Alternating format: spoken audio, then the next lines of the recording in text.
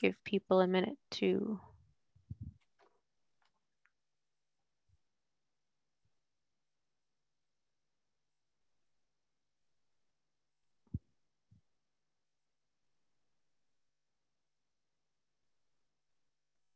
Okay, welcome everyone to another episode of Science Demystified with Dr. Joe Schwarcz. Hey everyone, uh, nice of you to be inside on a summer day and we will try to make it worth your while with the story of plastics. Now I've spoken to you about plastics in many different uh, connections before. Uh, today I'm going to focus in on, on, on history and the early beginnings. I, I just find it fascinating. And uh, I first encountered plastics, believe it or not, in a very interesting fashion. It was through a comic character, and that was Plastic Man. Uh, I collected comics uh, when I was uh, young. I had all kinds of comics. I, I, I foolishly gave a lot of them away when uh, just after I graduated high school when, you know, I thought I was too old for comics. And uh, boy, do I ever regret that because I had a lot of, of comics that, that were probably, you know, quite valuable. I had a lot of Superman comics. Anyway, I did have um, a, a, version of uh, police comics in which uh, Plastic Man was uh, introduced. And he was a very interesting uh, character. This, uh, this takes us back to 1941.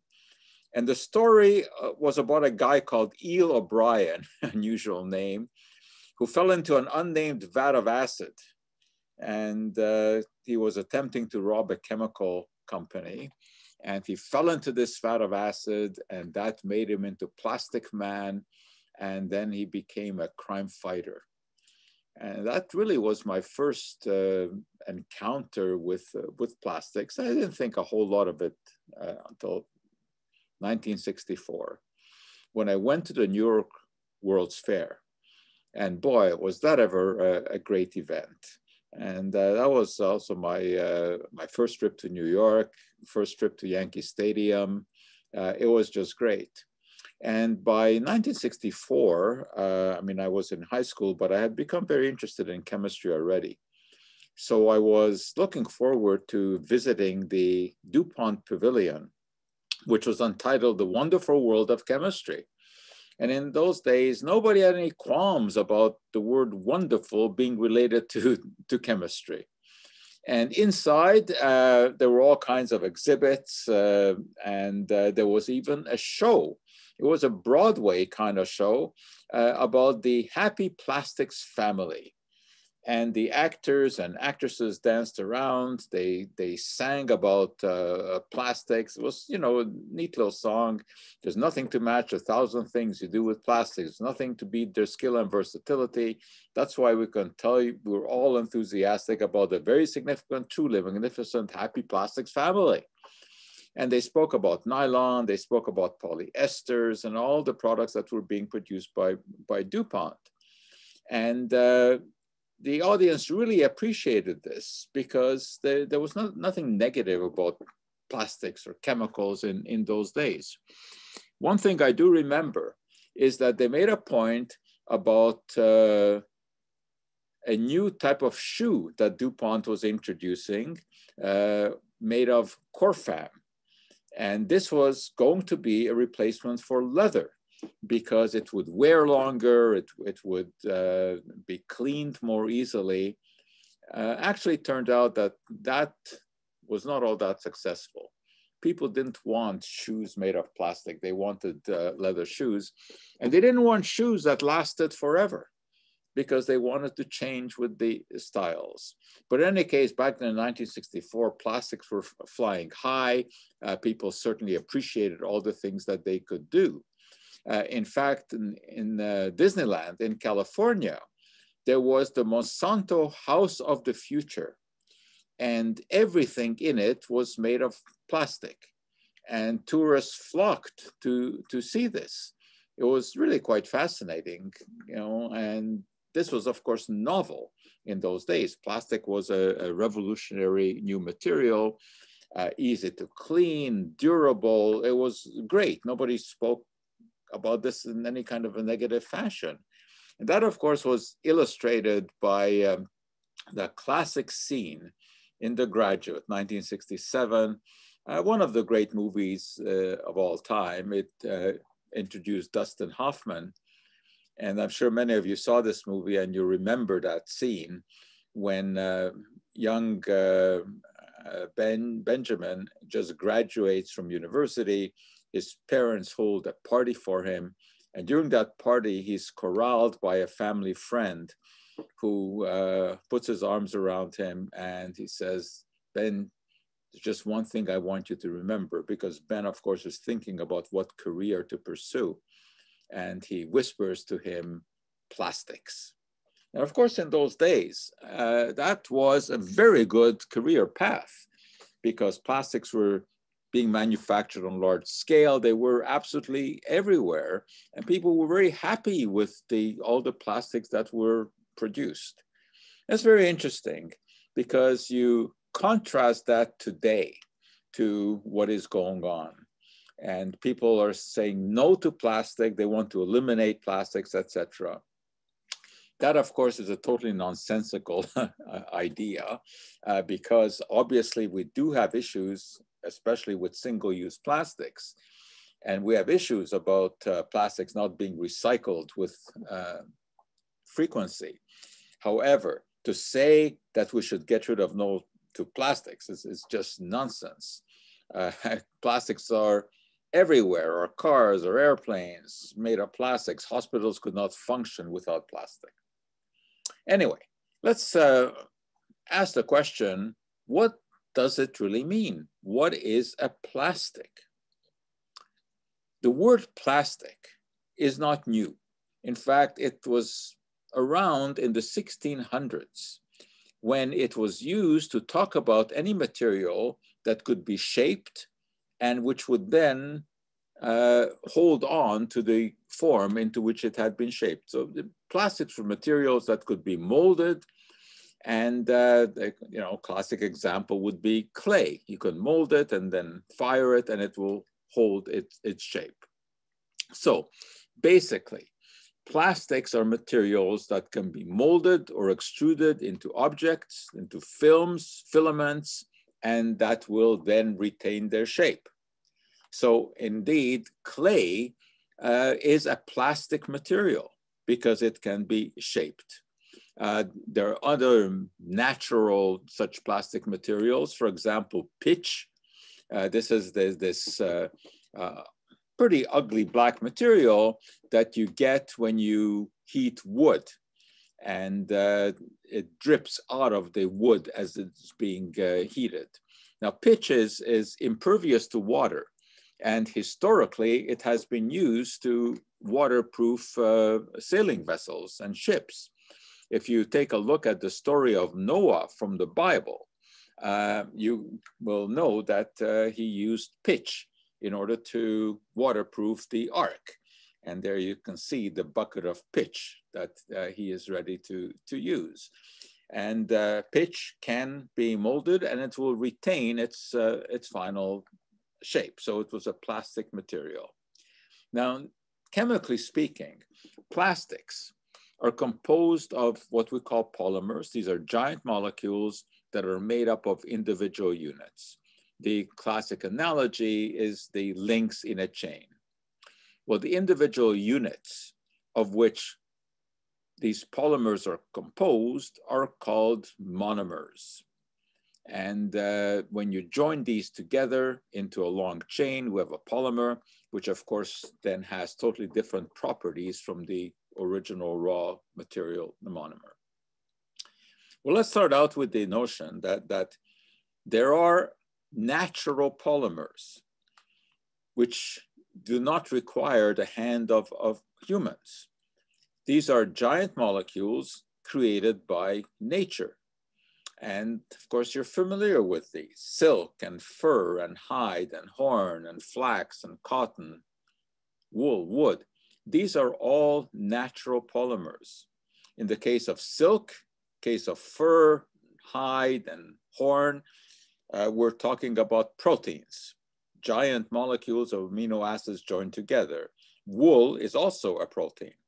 On the other hand, uh, wood and cotton are made of cellulose, which we'll have a lot to, to say uh, about. Uh, so is the fiber in flax made out of uh, uh, cellulose. So, but these are giant molecules. In the case of the proteins, the individual units are amino acids. In the case of uh, wood and cotton and flax, the individual units are, are glucose. We have a long history of using these natural polymers.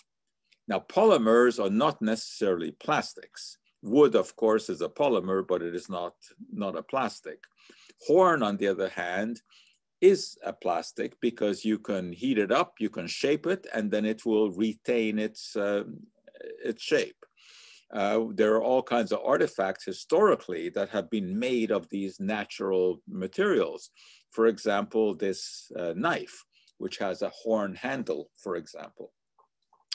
Another interesting case of a natural uh, polymer, a resinous material that is produced by little insects that live on a tree. And the material that we're talking about here that is produced as they suck the sap out of the tree and convert it into a, a polymer. And this is shellac. Now, shellac is a, a plastic material because you can heat it up, you can pour it into a mold, and it will retain the shape.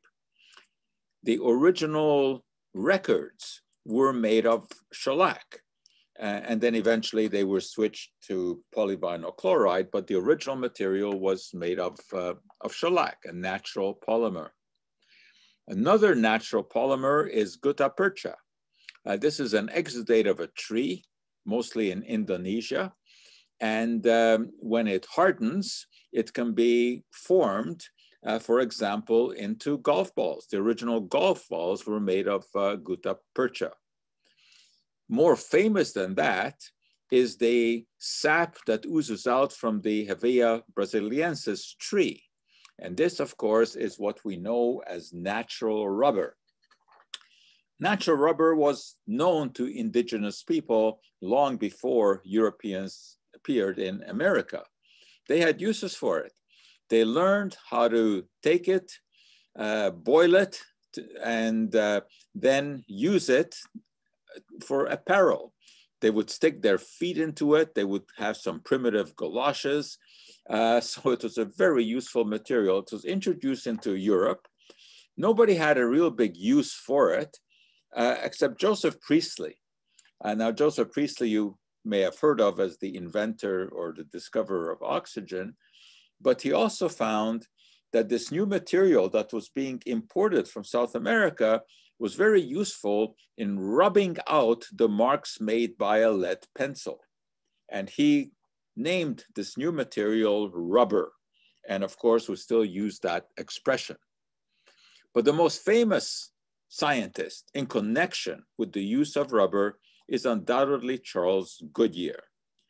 Now, although rubber was a very useful material, it was also difficult to work with because in the summer, uh, it would get very, very soft. In the winter, it would get very, very hard. And Goodyear wanted to find a way to improve the properties of rubber. And he tried mixing it with all sorts of substances. These range from things like soup to cream cheese. And then one day there was a happy accident. He spilled some of his rubber mixture on his stove where he had also previously spilled some sulfur. And the rubber and the sulfur under the influence of heat reacted and changed into a novel material with different properties he called the novel material vulcanized rubber after Vulcan, the Roman god of fire, because it was fire that had caused this chemical change. Well, chemically speaking, we know that rubber is made of long molecules. These are the polymers. And when you add sulfur to it, the sulfur cross links those long molecules to form this three-dimensional network. And because of the crosslinks, this now becomes a very elastic material. You can stretch it, but those sulfur crosslinks will pull it back into the original shape when you let go. Anyway, Goodyear patented uh, his, uh, his discovery. And uh, in 1851, uh, he got a lot of attention when he exhibited his vulcanized rubber at the Crystal Palace exhibition in London. This was a huge uh, exhibit. The Crystal Palace was a wonderful building. Uh, as you can see in the top here, it was uh, mostly made of, of glass, very, very unusual at the time. And inside there were all kinds of exhibits of novel materials, novel uh, technological processes.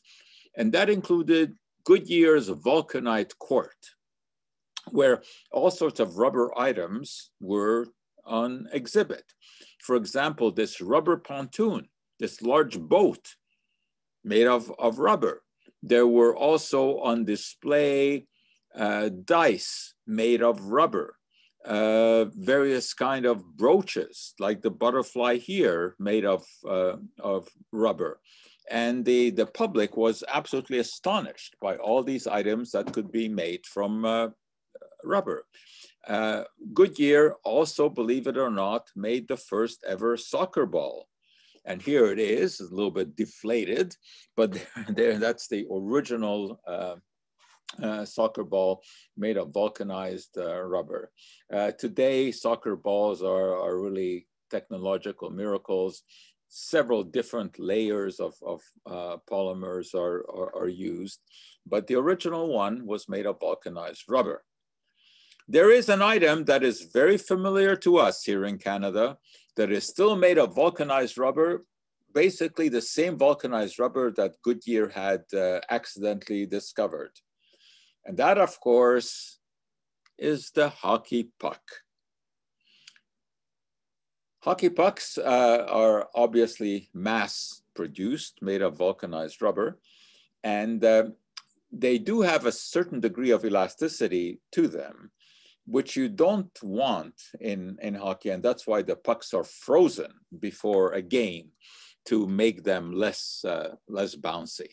But in order to make them hard, which of course is what you really need, they it has to be made of vulcanized rubber. So you need the sulfur holding those polymers together. Vulcanized rubber today, of course, has many other uses. Uh, one of the prime uses, obviously, is the manufacture of, of tires. And uh, tires are generally a blend today of uh, vulcanized rubber, uh, the old-fashioned type, but there are also some synthetic rubbers today that are, are uh, used in tire manufacture. We run into a problem with tires.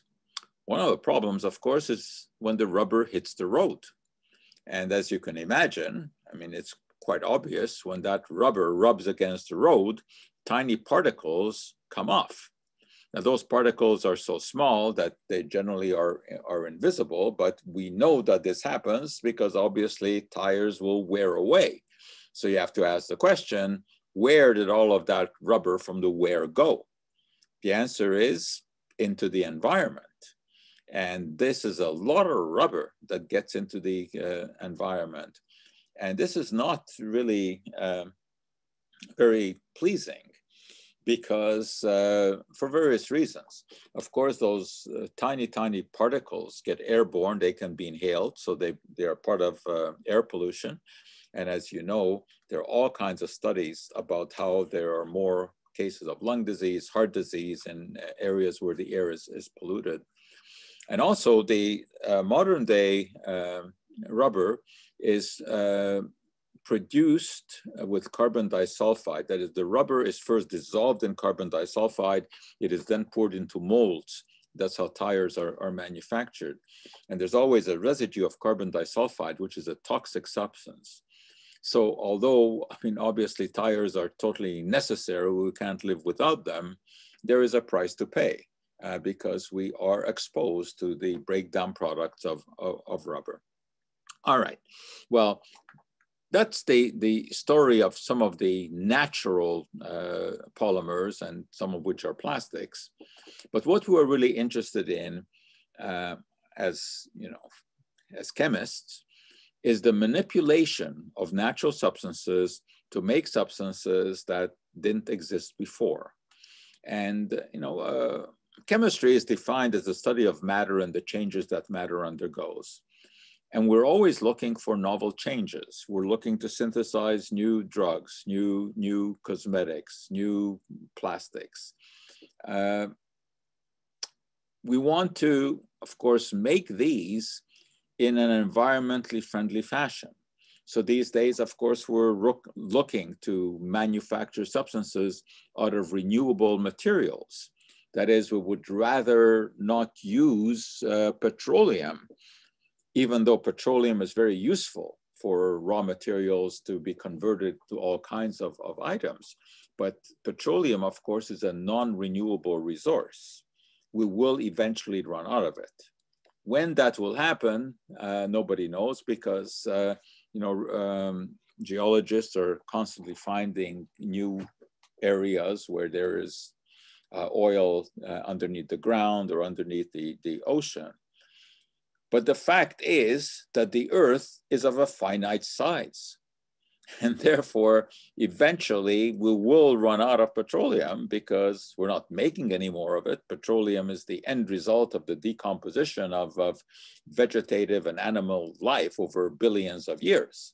So we will run out. So we're constantly searching for renewable sources of substances from which to make our uh, materials that we need, whether they be drugs, cosmetics, or indeed plastics. Cellulose is uh, one of the best candidates for use to make substances that are renewable because cellulose is abundant in the world. It is a biopolymer, meaning that it's made by living systems. In fact, cellulose is found in all plants. This is what makes up the cell walls of plants. It is the most abundant material in the world. Now, cellulose is a polymer. It is a polymer composed of individual units of glucose. This is where glucose is the monomer and cellulose is the polymer. But cellulose is not a plastic. However, it can be used to make plastics. And the modern story of manufactured plastics starts with quests to modify cellulose. Now, cellulose is abundant in wood. Wood pulp is a major source, and cotton is a major source.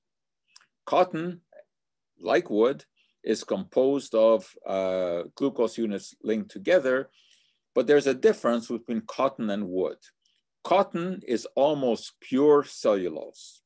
Wood is mostly cellulose, but there are many other components in wood as well. Lignin is a sticky substance that binds the cellulose together and uh, handling wood is more difficult than, than working with cellulose because usually you have to get rid of the lignin to isolate the cellulose. Cotton, however, is pure cellulose. Now, the manipulation of cotton uh, towards plastics takes us back to 1833 when Henri Braconnot, a French chemist, found that when he took cotton and he reacted it with nitric acid, he formed a novel material. He called it xyloidine. Today we know what it is, nitrocellulose. He didn't know that. He just knew that he mixed up cotton with nitric acid and uh, it transformed into a new material. Didn't know what it was, but he made a very, very important observation. This new material, which we know is nitrocellulose, was extremely flammable. He didn't do very much with it, except to note that he had made this new material, which was highly uh, flammable. Unfortunately, he didn't pursue this uh, any, any further. The breakthrough, however, came uh, just uh, 12 years later in 1845. Christian Schoenbein was an accomplished professor of chemistry in, uh, in Switzerland, but he would sometimes work at home. Even before COVID, sometimes people worked at home. And uh, he was very interested in, uh, in cotton. And uh, his work involved treating cotton with nitric acid and sulfuric acid. He was uh, familiar, of course, with the uh, work of Braconnot. He was trying to, to further it. And uh, as the story goes, one day he was working in his kitchen at home and he happened to spill the mixture of nitric acid and sulfuric acid. He had to wipe this up. Luckily for him, Frau Schoenbein was not home at the time. So he grabbed his wife's apron, which happened to be made of cotton, and he wiped up the mess on the floor. But then he had this wet apron on his hands. He had to do something about it. So he hung it up in front of the fireplace to dry. And the next thing he realized was that that apron went up in a flame, but critically, without producing any smoke. So basically, he had recre recreated Braconnot's original observation. The difference here was that he was able to capitalize on it. He didn't just leave this alone. Now, today we know what happened here the mixture of sulfuric acid and nitric acid reacted with the cellulose by placing an NO2 group on each oxygen on this long molecule. This is what made it extremely flammable because the combustion process requires the presence of a material that burns, but also requires the presence of oxygen. Now, most of the time, that oxygen is supplied by oxygen from the air. However, if the material has its own supply of oxygen, as is provided here by those NO2 groups, then it will burn with uh, extreme vigor. So Schoenbein noticed that this material burned extremely vigorously and that it produced no smoke. That eventually would lead him to the development of smokeless gunpowder, which was a huge breakthrough in those days because it was much better than the old fashioned gunpowder that was made of sulfur, charcoal, and saltpeter. That would leave a cloud of smoke hanging over the head of a soldier who had used it in their weapon.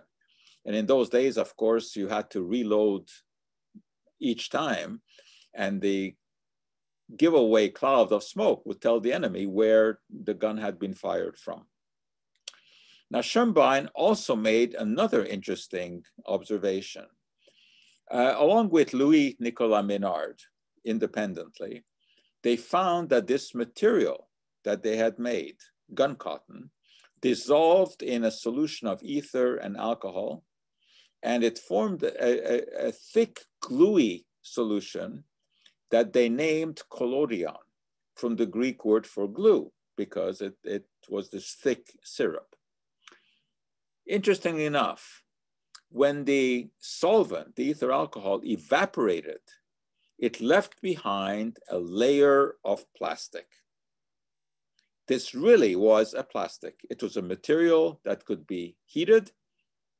I would soften it, and then it could be molded into a shape.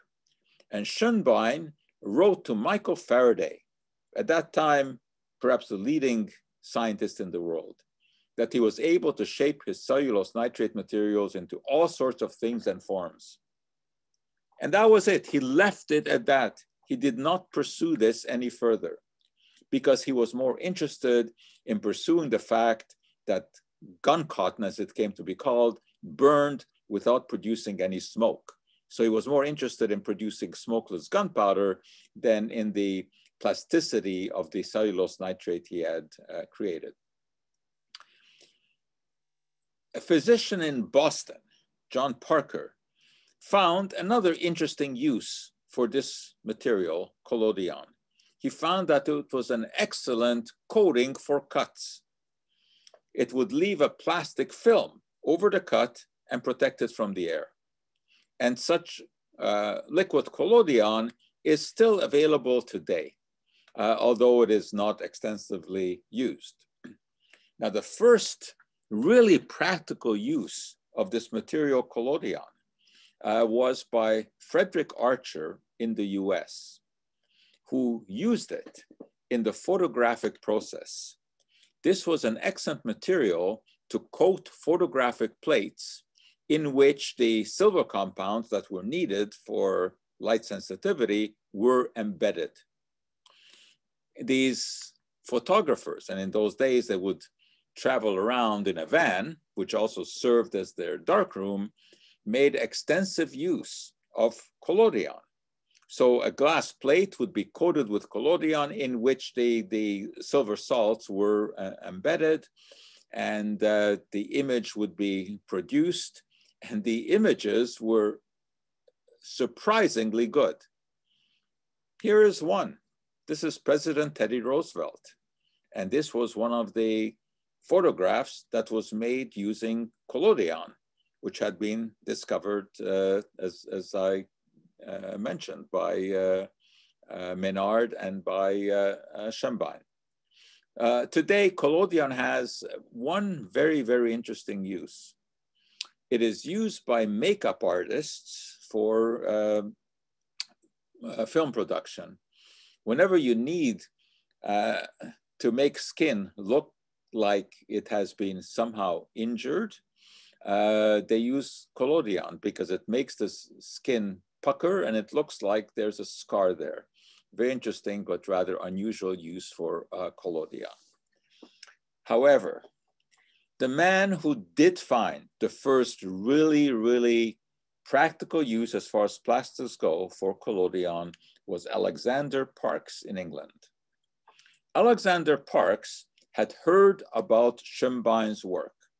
Schoenbein had actually patented his discovery uh, of how he had taken cotton and mixed it with nitric and sulfuric acid and converted it into smokeless gunpowder. But Parkes wasn't interested in the smokeless gunpowder aspect. He was interested in the other finding that Schoenbein had made that when his substance was dissolved in an alcohol ether mixture and the solvent evaporated, a plastic film was left behind. This is what Parkes began to experiment with. And in 1855, he found that when he took collodion, mixed it with vegetable oil, which allowed it to be even more malleable, he could harden it into a material that he called Parkesine, obviously after his own name. And this really was the world's first plastic. He was able to make some very interesting materials out of uh. And you can see them here. These are really historic items. A fishing reel, jewelry, see the bangle there, uh, artificial teeth, and the handles of, of the knives. Parkesine could also be colored. So you can imagine that it was a huge hit when it was exhibited at the London International Exhibition of 1862. This was just 11 years after Goodyear had captivated audiences there with his vulcanized rubber. But now it was the turn of Alexander Parkes, who introduced really the world's first plastic and uh, he got a prize at this exhibit. Uh, he was awarded a bronze medal uh, for his uh, display of Parkesine. And interestingly enough, he then took that medal and he made a mold out of it. And then he, he filled that mold with Parkesine so he reproduced that bronze medal in Parkesine. Pretty interesting. And Alexander Parkes uh, is uh, remembered, uh, certainly in England, as the inventor of the first plastic. And as you can see, uh, there is a marker on the house where he uh, uh, carried out his, his work. He uh, had many helpers. Uh, you know, once he, he founded a company to manufacture Parkesine, one of which was Daniel Spill, who carried on the work uh, of Parkes and he improved on Parkesine and he called his improved material uh, xylonite. Xylonite was uh, uh, commercially produced. Here is a xylonite factory in, uh, in England. And uh, basically he was producing the same kind of things, plastic items that Parkes has, had uh, produced. And he was able to bring down the price. So, so the, the first plastic items sold quite well. Now, at the same time, in the United States, John Wesley Hyatt made a discovery, uh, whether it was independent or not, as you'll see in a minute, uh, is, is debatable. But here is the, the, the story as is usually told in America. The Collender Billiard Company, makers of billiard tables and billiard balls, offered a prize of $10,000 to anyone who could come up with a substitute for ivory. Ivory, of course, was from the uh, tusks of elephants. And because of all of the poaching, ivory had become in short supply. So the word went out to find a substitute because billiard balls were made of ivory and the company needed something to replace ivory because there wasn't enough ivory around. And this is when John Wesley Hyatt stepped up and found that when he mixed collodion with camphor, he produced a material that he called celluloid. Now, essentially, this was the same as Parkesine. Now, whether or not John Wesley Hyatt knew about Parkes' work, uh, as I said, is, is debatable. But it's conceivable that both of them had kind of, you know, arrived at the same idea of mixing collodion with something to, uh, to make a, a plastic. Uh, Parkes called it Parkesine and Hyatt called it celluloid. He actually managed to make a billiard ball out of uh, his uh, new invention, out of celluloid. But as you can imagine, there was a little issue with this billiard ball because it turned out that when uh, the first billiard balls were introduced, uh, some of the men discovered that if they hit the balls very hard, they would explode with a bang. Because, of course, celluloid was made of nitrocellulose, which was an explosive material. And uh, the word was that, that uh, you know, uh, there were cases where these billiard balls would, uh, you know, make come up with a mild explosion, and uh, people thought that there was gunfire because uh, of this. Uh, I would not say, you know, that this this was an epidemic of exploding billiard balls, but it was a problem. Uh, it wasn't exactly the same as ivory. Ivory, of course, had no chance of, of, of ignition. But in any case, Hyatt did found the Albany Billiard Ball Company, and uh, these billiard balls made of celluloid uh, were, were produced. And uh, you know, it was a, a going concern. They produced a, a, a, lot of these and it sold well.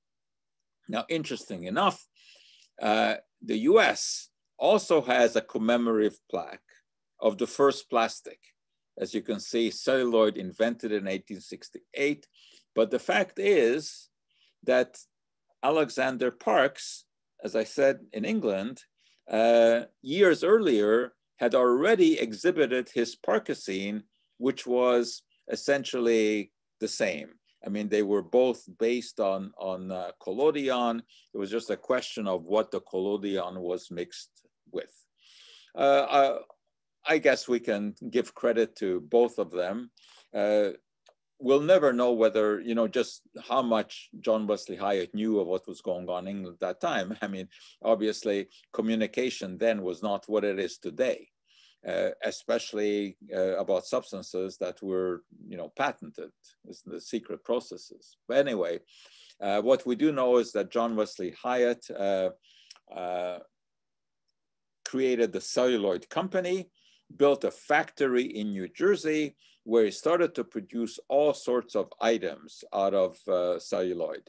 Very pretty items, as you can see, combs and brushes and, and shoe horns and they actually did resemble ivory. So celluloid became a very, very popular uh, material. One of the most interesting items made of celluloid were these waterproof collars and shirt cuffs. Uh, these could be just rinsed off in water and cleaned. And this was a big advantage in those days because gentlemen, believe it or not, did not change their shirts every day. They didn't need to. They wore vests to cover it anyway. But the collars showed and the cuffs showed. So those were uh, replaced every day. And at first it was linen, but when celluloid was introduced, this was uh, a great improvement because it could easily be washed. Some of the ads, though, to promote celluloid were objectionable, like this one where the, the message was that it was going to put Chinese laundries out of business because the celluloid could be just rinsed. You don't have to send out your linen to the uh, uh, launderers. And this was really, this had racist overtones because in those days, of course, many laundries were indeed manned by, uh, by, by, the Chinese. And as you can see here, uh, the new celluloid is, is uh, uh, wreaking havoc with the Chinese launderers. many materials were made of, of celluloid. Once again, dice, uh, dolls were made of uh, celluloid, uh, very, very pretty, as you can see. some unusual items, such as these eye shades. teeth were made of celluloid, and it's quite obvious that this was a very, very, very popular uh, product. And John Wesley Hyatt actually received the, the Perkin Medal, which is the highest honor in the US given to industrial chemists for inventions. Uh, it is, of course, named after William Henry Perkin, uh, the person who first made the first synthetic dyes in 1856 in, in England. Uh, today, there's even a John Wesley Hyatt Award, which is, as you can see, presented annually by the Society of Plastic Engineers for great achievements in the plastic industry. Now, I mentioned to you that uh, in England, uh, uh Parkes had worked with Daniel Spill, who basically took over the manufacture of Parkesine, uh, renamed it Xylonite, but nevertheless, it was the same thing. And this is uh, where a legal battle began because Spill, as you can see, took exception to Hyatt's claim of having in invented celluloid. And there were uh, lawsuits going back and, and, and, and forth. And uh, eventually, uh, you know, both sides presented their cases to, to, to, to judges. And uh, eventually the settlement was that uh, both could uh, continue to manufacture their uh, materials. And Spill went on with his xylonite company in England, and Hyatt went on with his celluloid manufacturing company in, in the US. A lot of money was spent on, on these legal hassles. Another example of celluloid, one that you are likely to be familiar with because a whole industry was named after it, celluloid industry. Of course, we're talking about the film industry.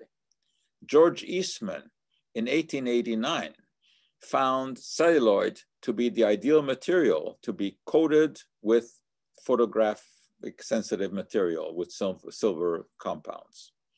Now here too, there were some interesting legalities. George Eastman would make a lot of money uh, from uh, Kodak film.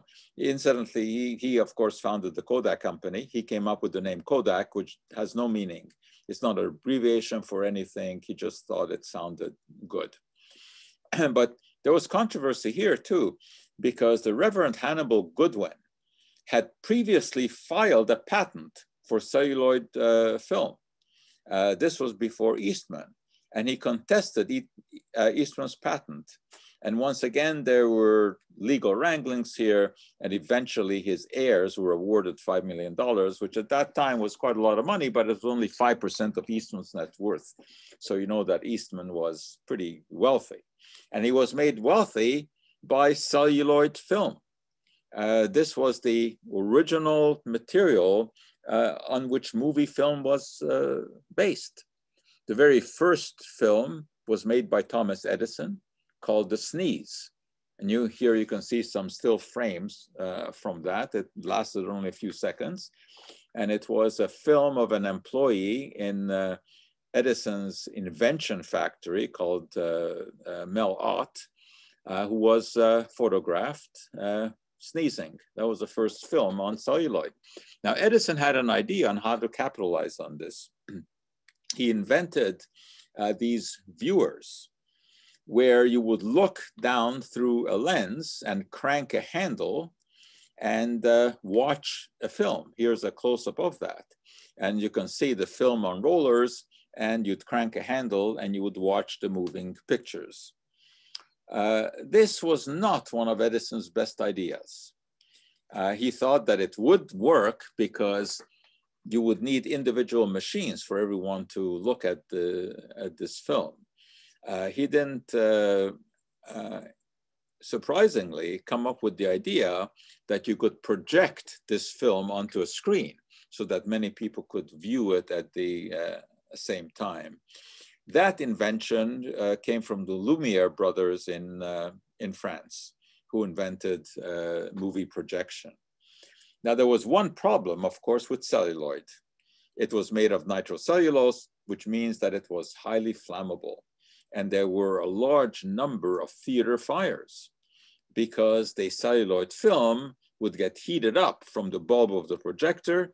And if it wasn't moving fast enough, if the projector stopped for a moment, the film would catch fire. And there were a large number of devastating fires. Uh, there was one terrible one in Montreal. And some of you may remember that uh, up to the 1960s, children here were not allowed into, into movies because of the, uh, of the fire. Eventually, uh, celluloid in movie film was replaced by cellulose acetate, uh, which uh, is not flammable. Today, of course, uh, film of all kinds is being replaced by digital photography. But of course, its history cannot be and should not be wiped away. Celluloid is no longer used today except in one item, that one item is the ping pong ball. Nobody has found a synthetic material that has the same properties, the same bounce as a celluloid ping pong ball. And you know that it's made of cellulose, you can set fire, uh, fire to it. Uh, don't do it. Take my word for it that ping pong balls are indeed made of, uh, of celluloid. Now, there's another uh, interesting connection with the flammability of, of cellulose nitrate. This takes us to France and Count Hilaire de Chardonnet, who in um, 1884 found that if you took cellulose nitrate, dissolved it in a solvent, and passed it through a glass capillary tube, and then treated it with some acid to take off the nitro groups, you would get a man-made fiber that looked very much like silk. And he exhibited this fiber in 1889 at the Paris Exposition, Universelle, which was also the uh, ex exposition at which the Eiffel Tower was introduced. People loved this new material, which looked just like silk. It was said to be a man-made silk. And Chardonnet actually began commercial production of this in 1891 at a factory in Besançon. But there was a problem. And I'm sure you can guess what that problem was. It was the flammability because cellulose nitrate is highly flammable. And workers in the plant took to calling this novel material mother-in-law silk because it so easily became inflamed. Some of you will understand that reference. In 1901, French chemist Jacques Brandenberger was dining in a restaurant and red wine spilled onto the tablecloth. He started to wonder, could anything be done to protect fabrics from such stains? He knew that a material called viscose had been introduced in 1883 in England by Bevan and Cross. This was a material made by taking cellulose, treating it with carbon disulfide, and then regenerating it with the addition of, of acid. And the regenerated cellulose had totally different properties. They called this the intermediate viscose because it was a thick, viscous material. But when it was passed through tiny holes in what is called a spinneret, it would turn into fibers, which could then be woven. This material eventually would be called rayon. Anyway, uh, Brandenberger was familiar with this viscose, and he wondered whether or not coating a tablecloth with viscose would protect it from stains. It didn't work well because the material did not stick to the fabric. It peeled away from it, but it peeled away in a transparent layer. Now, Brandenberger realized that he had made a discovery. He had made a thin plastic film. This material he called cellophane, from cell, which is the uh, abbreviation for cellulose, and phane, which came from the French word diaphane, means uh, transparent. He invented a machine whereby he would take viscose and make a film out of it. And this, of course, is what came to be known as a material still widely used today. We know it as cellophane, plastic material. It became very, very popular when the Camel Cigarette Company began to wrap its cigarette packages in cellophane. Camel was a very uh, widely sold cigarette at that time. It was even advertised by doctors, believe it or not. There were ads about, uh, you know, uh, something like, uh, you know, the camels are the first choice of doctors, uh, etc. But because competitors were catching up to Camel, Camel wanted something novel to promote. One of the problems with tobacco is that it uh, gets moist if, if, if there's a lot of moisture in the air and doesn't burn well. Well, the DuPont company had introduced a version of cellophane that was moisture resistant. They had found a way to coat the cellophane with a very, very thin layer of nitrocellulose. That layer was so thin that that flammability was not, not a problem but it made the cellophane waterproof. And claiming that now they had a waterproof packaging that would keep the tobacco fresher longer, boosted the sales of Camel cigarettes. Cellophane did that. Cellophane became widely used as a, a wrapping material because it is translucent and it also reflects light it has a sort of an expensive look to it. Today, cellophane can be uh, colored in all kinds of ways, and you know it's of course still a very very popular wrapping uh, material. There is a but here though, and the but is that the carbon disulfide that is used to make uh, viscose and that is used to make cellophane is a very toxic substance. It can uh, manifest itself as mental derangement. It's used to produce, uh, you know, as I said, rayon and cellophane. So workers are exposed to it. And the fact that that viscose releases carbon disulfide, which is toxic, has been known. In the 1800s, there already was scientific publication, as you can see here, about the problems of, of inhaling carbon uh, disulfide. So the Courtauld company which was producing uh, viscose rayon in, in England, workers uh, were exposed to high levels of this. If you want to read some more about this, there's a fascinating book called Fake Silk, uh, because of course, rayon originally was a silk substitute. And it tells the story of the toxicity of uh, carbon disulfide, which of course we're still dealing with today, because rayon is still, of course, produced. Another interesting connection uh, was discovered in 1933 by a surgeon, a British surgeon, uh, who accidentally spilled some hot water on his shin. And he had trouble with the dressing. The dressing that he put on there would always stick to the wound. He was smoking camel cigarettes one day. And then he had the idea of taking the cellophane and using that as a covering for his wound. And that was a breakthrough. During the war, a lot of cellophane was used to cover wounds. Not only that, if you need a thicker, you needed a thick dressing on a wound, well, that was packaged in cellophane because cellophane, of course, was impervious to water. And on the bat battlefield, uh, you know, very often you had moist, uh, moist conditions. But perhaps the material that really had the largest impact for household use was the cellulose tape.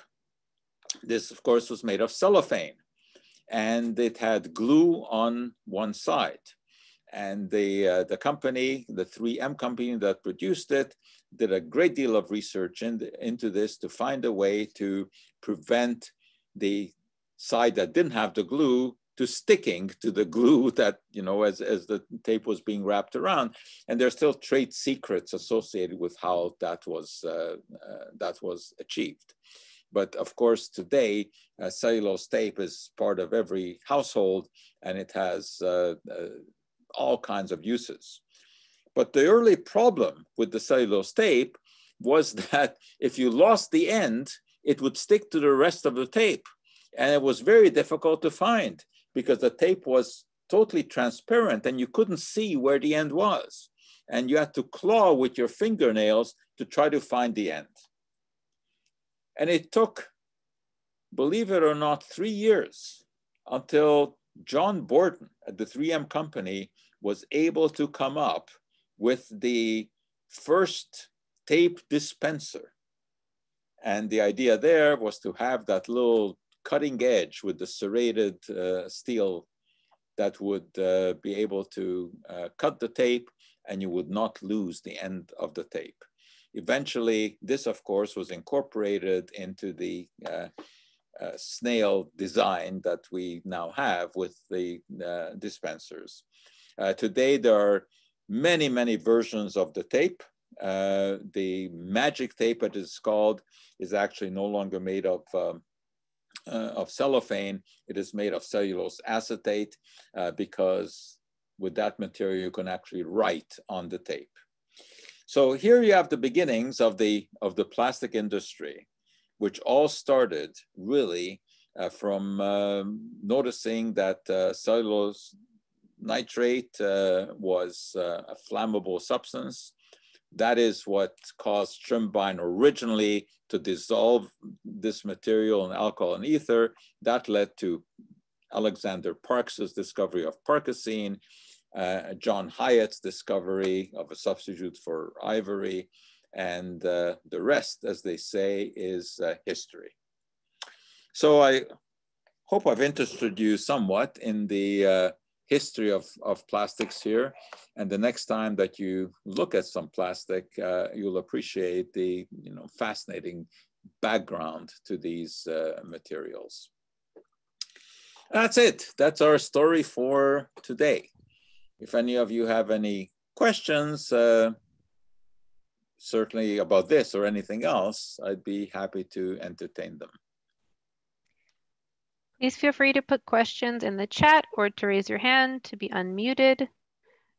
In the meantime, I have a question. So this big fear of microplastics, you've mentioned a couple of the uh, uh, risks, but yeah. how much is there a yeah. risk? I mean, this is this is a real issue, and uh, um, you know we've talked about this before, and undoubtedly, you know, we'll do this again because I have a whole presentation, a follow-up presentation on plastics with all of the current issues. Uh, it is, is, a very real problem. Uh, I mean, you know, our use today of plastics is, is tremendous. The plastic bags that we use, of course, the, the you know, plastic containers for food, the, the plastic bottles that are bottled water and beverages come in. Much of that can be recycled, but unfortunately, a lot of it is thrown away. And when it gets thrown away, it ends up very often in natural water systems where it gets, uh, over the years, gets pounded by waves, gets beaten against rocks, etc., and the plastic eventually disintegrates and uh, becomes what we call microplastics, which are tiny, tiny pieces of, of plastic. So tiny that, that you can't even see them with the naked eye. But they're there, uh, mostly in the, in the ocean. And they can get into fish. And if they get into fish, they can get into us. And of course, there's the question of what is the consequence of this. And at this point, we really don't know. I mean, I think uh, it's pretty safe to conclude that that consuming plastic is not going to be doing us any good. But whether it's harmful, that's hard to say because plastic by and large is inert material. Uh, this is one of the advantages of, you know, of the plastics that they don't react with substances. So chances are that most of the microplastic that goes into us, as it may through our diet, also comes out of us. Uh, so right now, although there is concern about the increasing amount of, of plastic in the environment, we really don't know that it is uh, harmful, uh, you know, in, in, in, terms of, of health. But obviously, we want to cut down. We want to cut down on the use of plastics for two reasons. One uh, is the pollution. The other is that most plastics today uh, use raw materials that come from petroleum, which is a non-renewable resource. So we want to cut down on, on that. So there are all kinds of efforts, of course, of, of making novel plastics from renewable plant materials instead of from uh, petroleum. But yes, there are issues with plastics. But everything in life has to be looked at in terms of a risk benefit analysis. And there are huge benefits of, of plastics. I mean, if you look at a hospital, a hospital could not function without plastics. Uh, everything from the masks that, that are used to, to you know, to, to the, the uh, catheters, the intravenous tubes and, and uh, bags. And, you know, I mean, you just look around in hospital, everything is, is made of plastic. Look into your car, everything is made of plastic. Airplanes today would be impossible without plastics because they are only they are the only hard enough and light enough materials of which you could construct uh, you know, the interior of airplanes. So it is a question of, of trying to use the plastics in the most advantageous ways uh, without polluting. Now, certainly we don't need to use so extensively the single-use plastics. We don't need the straws people can learn to drink without a straw. And if it's absolutely necessary, there are straws that can be made out of metal. Uh, there are straws that can be made of paper, although that's not much better because uh, making paper is also an uh, environmentally unfriendly uh, uh, process. But we can certainly cut down on the uh, use of, you know, the single, you know, the, the forks and knives, which end up being thrown away.